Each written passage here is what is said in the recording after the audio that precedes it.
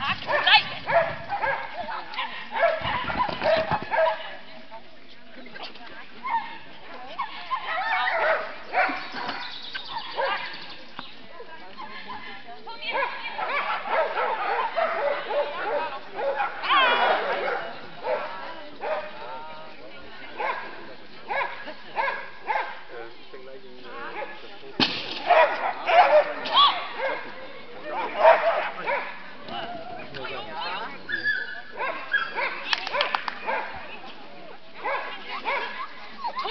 Ah!